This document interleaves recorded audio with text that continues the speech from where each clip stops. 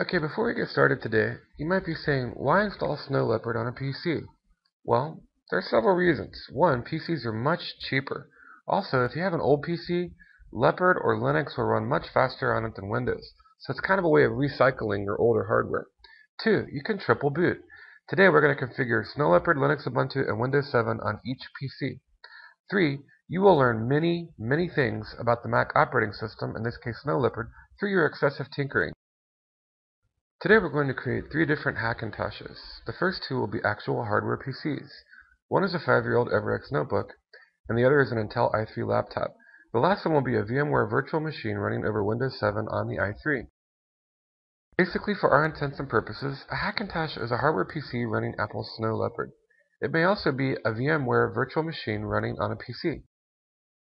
For excellent guides, advice, and instructions, be sure to check out the kind folks at hackintosh.com if you want to try this on one of your PCs. Looking at doing um, Hackintoshes, and we're going to do three different ones. So one is on this Toshiba here, which is an i3. Fairly modern, but you know, inexpensive computer. You can get these for less than $500 on PC. So that's our, sort of our modern one. This is an old one. This is about four, almost five years old. And uh, this is basically just a, a cheap netbook not very powerful. And as you can see, I'm holding the battery in by duct tape. so, but we're going to install Snow Leopard on these machines, and we'll make them Hackintoshes. And we're going to do a triple boot. So, sorry, I have to hold the camera here. Alright, so I'm going to open them up. And I'm going to power them on.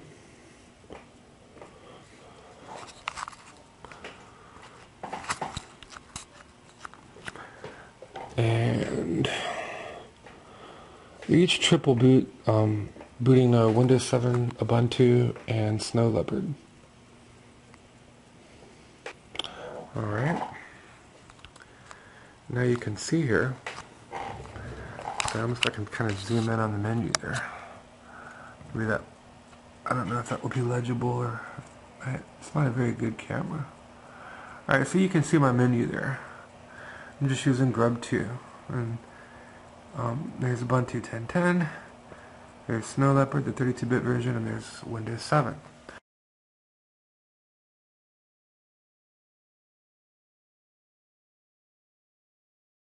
I'm going to go ahead and boot Leopard. We'll boot into Leopard here. Sort of be our first one.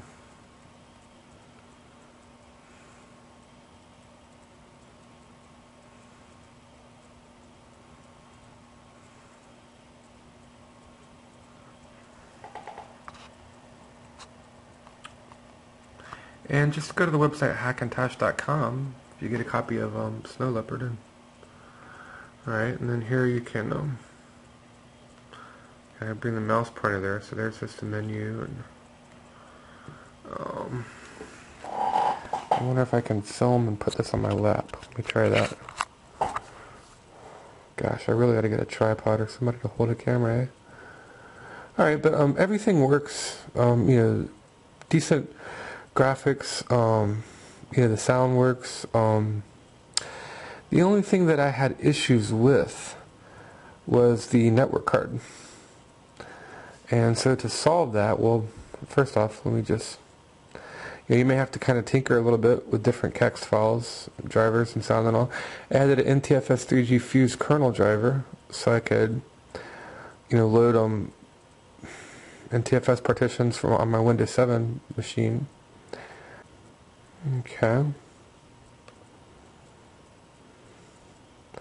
And I like VLC player, you know, media player. And Linux, Windows, and Mac, it just plays a lot of a lot of different formats. You can see that, you know, there's no no performance lag there.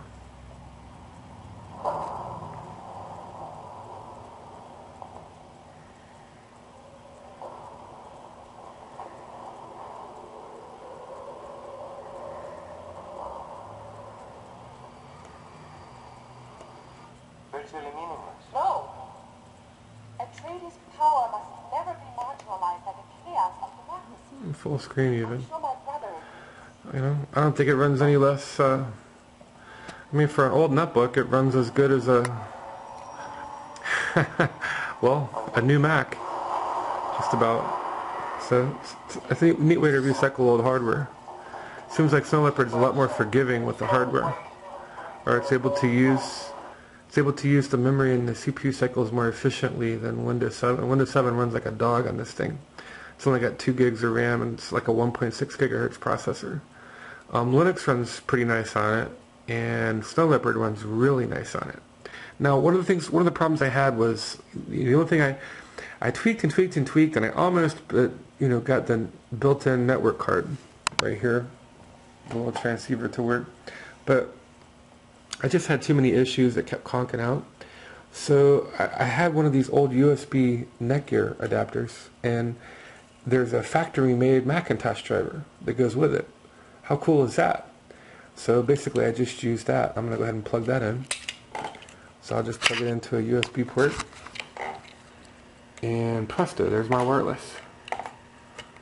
And go ahead and start this application here.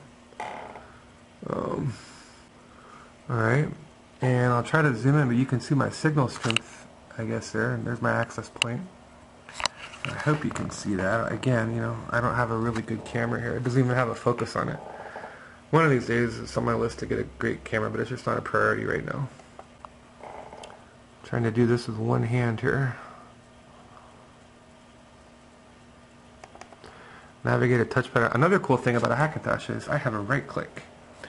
And you guys with PowerBooks don't have that. But you can see I got IP address now, at least it. I'm using 256-bit encryption. And let's just hop on, let's use Safari. We'll load up Safari here and go. Again, I'm trying to hold this camera in focus and use a touchpad and tilt the laptop and... Oh. There, I have it on my knee now. Okay. So you can see I've got Safari open now. Let's go to YouTube. We'll play, do some Flash.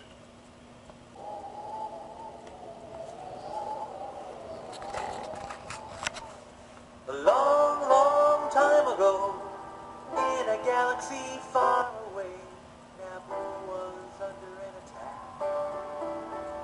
And I thought Try some full screen here.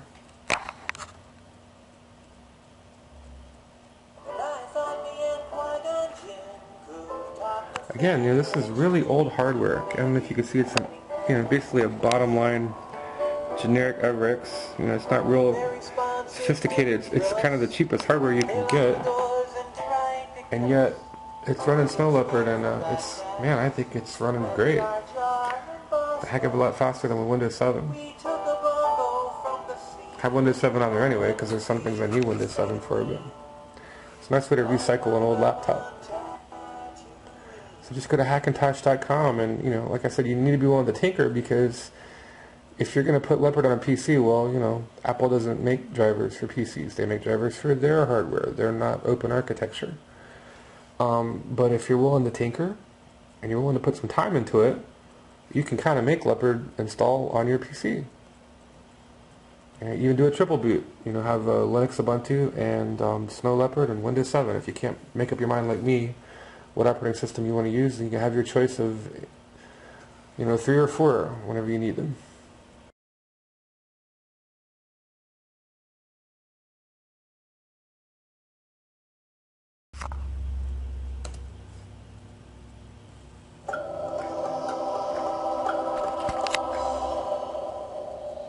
Maverick Meerkat runs pretty peppy here. And I'm, um, you know, running it with effects. Let me see if I can hold down both of these here. And there's, you know, I'm running even the Barrel Desktop Manager. And there's no real serious performance lag there, even though this is an old beat up piece of hardware. Ubuntu wise, oh Linux, I'm telling you, Linux does great with legacy hardware. It's just not as demanding. It, it does more with less, I think, in my humble opinion. Um, but you know, just standard standard fare there. Um, Might as well go look at a flash video real quick too. We'll just kind of try to gauge the performance or the, the general clunkiness. Let's look at um different, you know, we'll try to look at different operating systems and see what's um.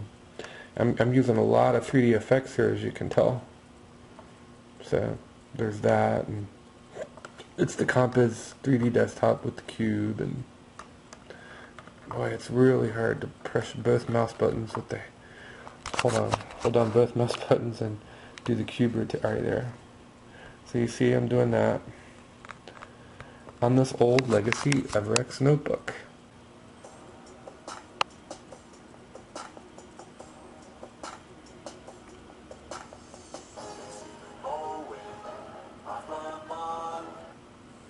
And that's a, you know, the new flash when you go to full screen has to rebuffer, so it's not really the hardware, but it's network access.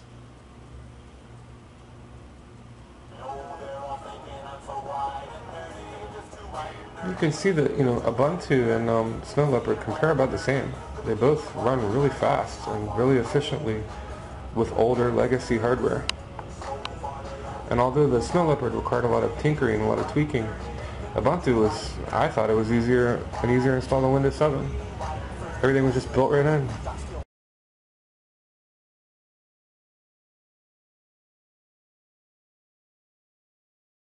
And um, this is the Windows 7 partition here. We'll, you know, so we've done Snow Leopard, we did Ubuntu, and um, just to show that you can use it. I mean, I was using Grub 2, but you can also configure um, the BCD store in Windows 7 to load Linux and Mac and know, different operating systems. I, I did both there, so they kind of loop back and forth. But I guess that was kind of pointless, but just to show that you could use either one to configure your multi-boot menu.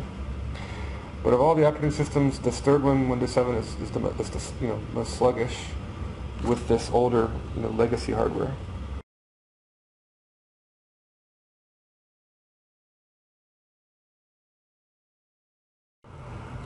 All right, we looked at booting up, uh, you know, configuring a triple boot setup with uh, the Grub2 bootloader and Linux, and the BCD store database and, and the Windows 7 bootloader. And I'm going to look at Chameleon, which is an Apple bootloader. And again, I'm on an inexpensive Toshiba laptop. This is the economy model, less than 500 bucks. But the neat thing is, although it's you know kind of cheaply built, not as nice looking on the outside as an Apple on the inside, um, it's got a 500 gig hard drive, 4 gigs of RAM. It's an i3 processor, so uh, you couldn't touch internal hardware like that on a Macintosh, even if you paid $2,000. So, although it doesn't look as nice on the outside, um, you know, it's um, go ahead and boot Snow Leopard here. It's the Chameleon bootloader. Um, this looks as nice on the outside, but I mean, you know, you think about it, you're getting a lot more on the inside for, you know, one-fourth the price when you use a PC. Alright. And it's booting up here.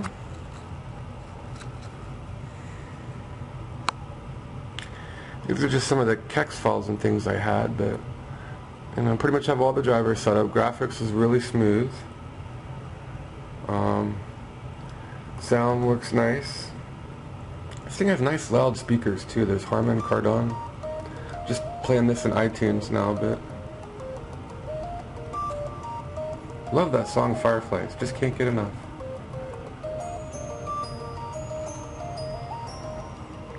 Let me just do a couple of media files. There's my son rapping.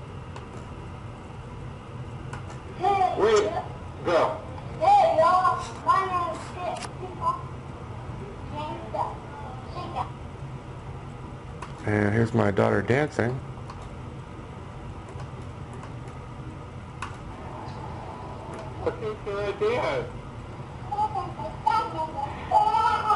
Are you a ballerina?